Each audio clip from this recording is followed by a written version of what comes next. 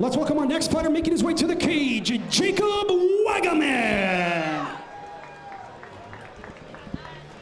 Coming to the cage now for this light heavyweight contest, Jacob Wagaman, the second Wagaman on tonight's card. At six feet, one inch tall, the 23-year-old is an orthodox fighter with only one fight, a loss on his record, a round three TKO against Justin Jones. His hometown is Fallbrook, California, fighting also like his brother out of Team Quest. He says he's a simple, unfrozen caveman warrior, which he says means that he's composed, but he likes primal things like smashing people. That's pretty funny. Now, he also is supposedly the better grappler of the two Wagaman brothers. And it should be interesting to see because in the prior Wagaman fight, we saw a lot of takedowns, a lot of good wrestling. So if he's the better grappler, I'm interested to see what he's going to do with takedowns and how he's going to control the ground because he's probably a pretty good grappler there. Yeah, his brother Joe, clearly a very talented wrestler. Uh, Jacob and Joe, the Wagaman brothers, have been wrestling together for years. They've been training together for years. Uh, so they tend to push each other quite heavily, as brothers might. Jacob is currently studying mechanical engineering at Palomar here in Los Angeles, but he's looking to transfer either to UCSD or somewhere in Louisiana where his girlfriend happens to reside. Be careful with that one, Jacob. That's a big move. You mean Louisiana or the girlfriend? Both. Both, all right. And his opponent making his way to the cage, JJ Peacemaker Mortimer. And Jacob's opponent in the blue corner, JJ Mortimer. The 32 year old stands six feet tall and three inches. He fights out of the orthodox stance. He has one win and one loss on his record. Most recently, a round one submission against Sid Sidbury. He's fighting out of the local boy, Thousand Oaks, California, from Bas Rutten's Elite MMA. In fact, we happen to have Bas sitting just to the cage side to watch his fighter come out and try to impress on behalf of his gym. Yeah, and in that last fight that he won, he he won with a fist choke, which is a Rutten, Bas Rutten move that he took from uh, El Guapo. Now it's a unique unique finish you don't see much. You see more, you know, you think of those type of chokes, you see more in jiu-jitsu competition where you can, with the gi and you can push the fist into the neck. But a uh, no gi fist choke, very, very nice. He said he likes a top game, so facing a wrestler, can he get to that top game? That's going to be his challenge. You know, if there's one thing you do see from Bas Rutten fighters, is a lot of unorthodox techniques, not in terms of martial arts overall, but in terms of the modern mixed martial arts standards. Mm-hmm. A lot of guys doing things that other fighters just aren't training, for whatever reason it might be. But if there's one thing Bas knows, it's how to use techniques that others aren't using to their maximum effectiveness. That's correct. You see a lot of dangity, dangity, dang from the fighters that come from Rutten. Now, those that don't know what I'm talking about, just look it up online. You know, if uh, there's one thing I'm hoping for, it's a palm strike. And I asked JJ, he said, you never know. That's that pancrase. Bas Rutten open hand strikes. He had to fight that way for a long time, so you know his fighters are probably familiar with open hand strikes. JJ Mortimer is also a writer, a novelist, with a new book called Midnight Detective.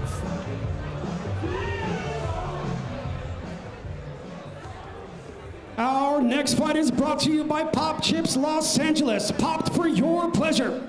Scheduled for three two-minute rounds in the 205-pound division. Introducing first, fighting out of the red corner, a caveman fighter. He comes to the cage with no wins and one loss. He stands at six feet one inch tall and weighing at 205.2 pounds. Representing Team Quest from Fallbrook, California, Jacob Wagaman. And his opponent across the cage, fighting out of the blue corner. A freestyle fighter. He brings a record of one win and one loss to the cage, with one win coming by way of submission. He stands at six feet three inches tall and weighed in at, in at 200 pounds, fighting with Bas Rutten's Elite MMA from Thousand Oaks, Thousand Oaks, California, JJ Peacemaker Mortimer.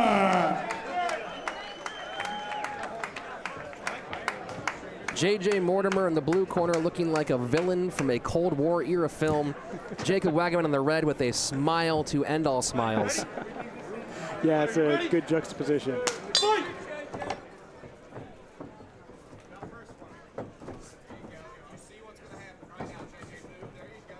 JJ already looking very crisp, very straight. Yeah, you could tell the way Mortimer came out, he wanted to strike, and he was very tight and clean with it. Jacob caught a jab and now is looking to impose his game. He's got a nice single leg. Wagaman doing the Team Quest special, put you against the cage and knee you everywhere. Good takedown. He, Wagaman should, well, he's, he's fallen into quarter guard here. He almost had a pass. He's still inside control, and now he can control it. He needs to settle down, figure out where he's at, and start going to work. Can see he's looking to mount soon, maybe. Yeah, Jacob being very aggressive with the grappling early on, and that aggression's looking like it's troublesome for him right now. JJ getting ready to replace the guard. Yeah, JJ doing a nice job there of getting his knee under. You know, that's one of the hard parts about a two-minute round is you can't really take your time on the ground advancing position. Nice shoulder pressure from Wagaman. Getting a little high, he maybe get himself.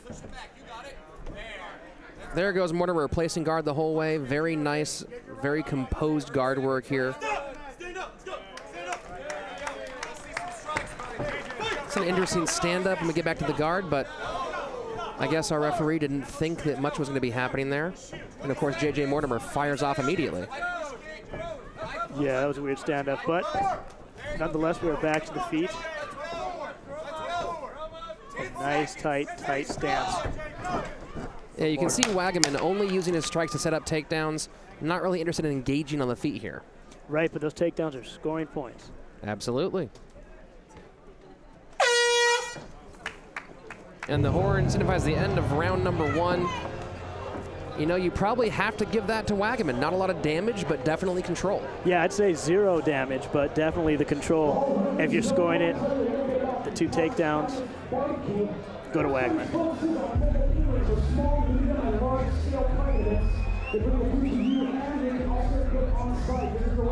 You know, Wagaman was saying beforehand that he really wants to put JJ on the ground. He's a true fighter. He wants to know that he's better in every aspect. And in particular, he just wants to grind and smash. Well, he got the grinding part down. I think this will be the round where he can look to smash a little bit. And then uh, for JJ Mortimer, I think the strategy is obvious. Keep it standing.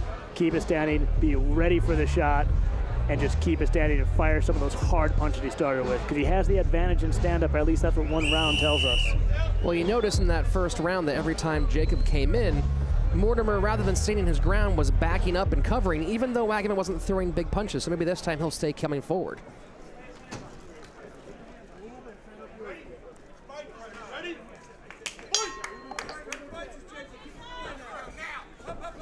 You hear Bas saying straight punches, keep them away.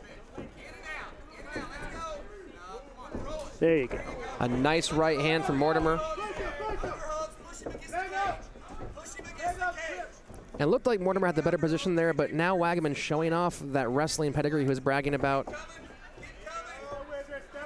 Maybe I spoke back, too soon. No, if he steps back too far, you're going to see Wagaman use that advantage with the whizzer to turn him over. But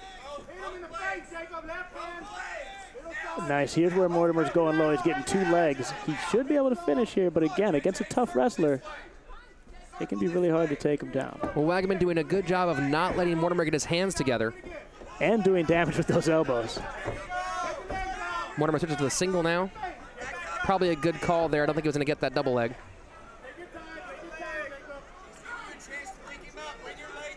I like his, Wagaman making interesting use of elbows. yeah, I was about to say, I like his use of short little elbows. And you can hear him landing because they're right in front of us. They're landing well to the ribs. Yeah, we can hear those thuds, those thumps. And that is, a, I think, the third takedown tonight from various fighters that has not worked out. Did you have a single arm guillotine that Wagaman is threatening with?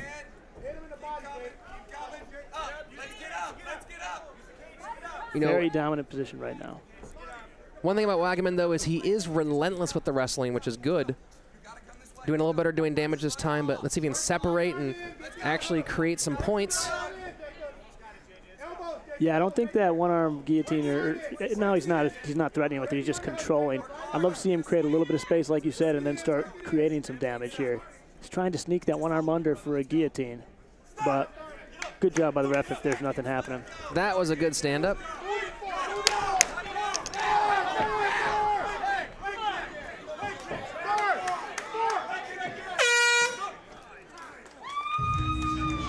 You know, one thing we've seen so far from these two fighters, they're both very coachable. We've seen Wagaman listening to his corner. We've seen Mortimer listening to his corner. They're both listening very well. Yeah, they're doing a good job of hearing what their corner says and reacting. I think that Mortimer has to come out with a sense of urgency in round three. On my scorecard, he's down two rounds to zero. Do you see it the same way? Absolutely.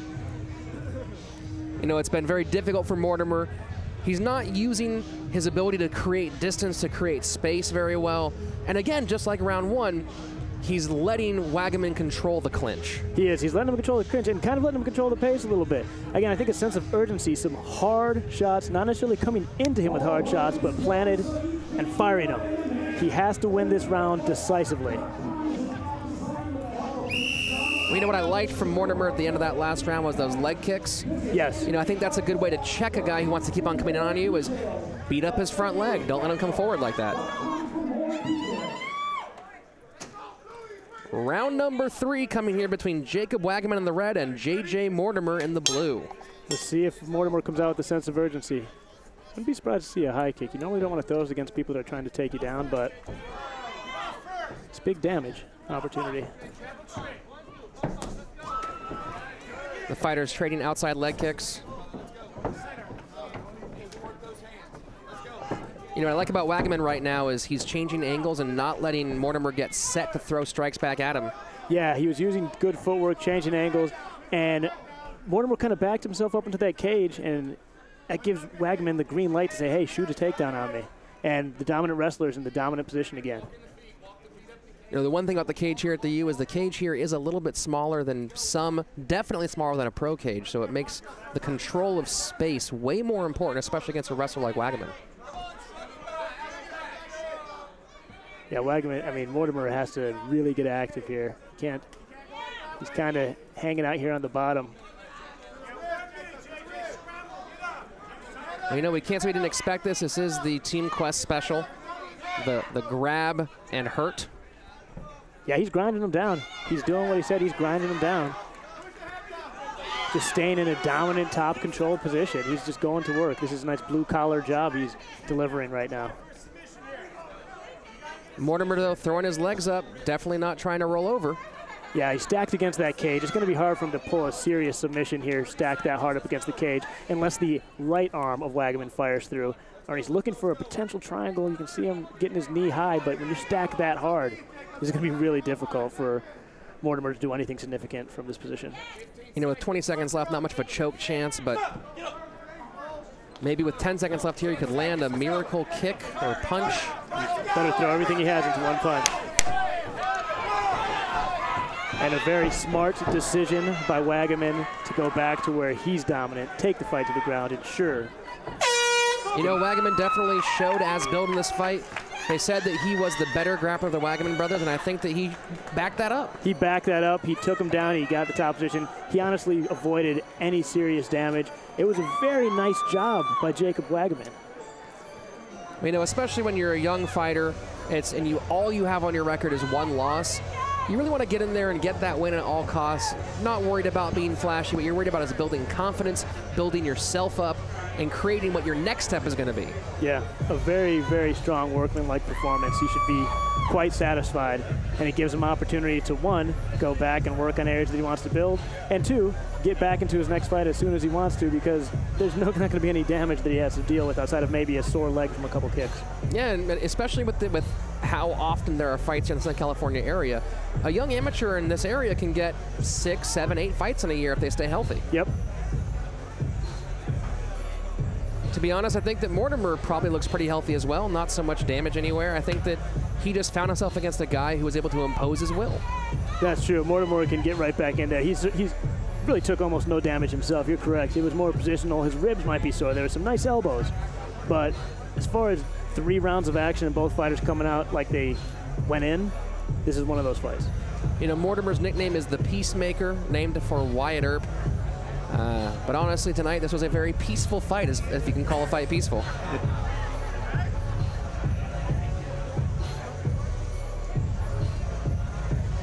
The judges taking their time to make sure they have the scores tallied appropriately.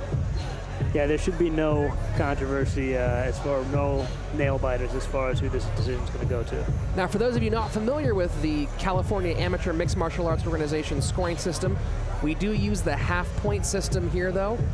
So rounds can be much closer than you might imagine. So if you start seeing some odd this point five, that point five, that's the reason.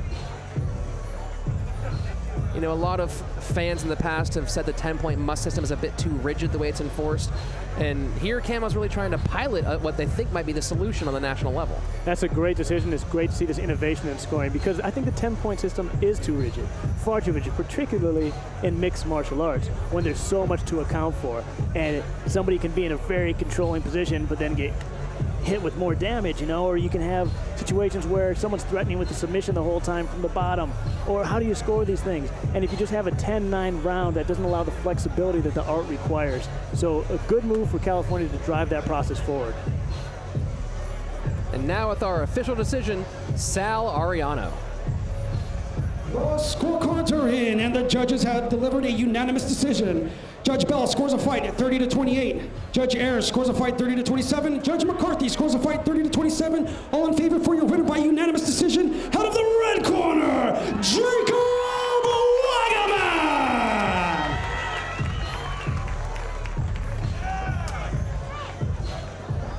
Jacob, congratulations. How you feeling? Feeling freaking awesome. Nice. Do you feel like you were able to stick to your game plan, especially going into the third after filling out your opponent for the first two rounds? Yeah, actually, it was actually a pretty new plan, but stuck to and it's, it worked.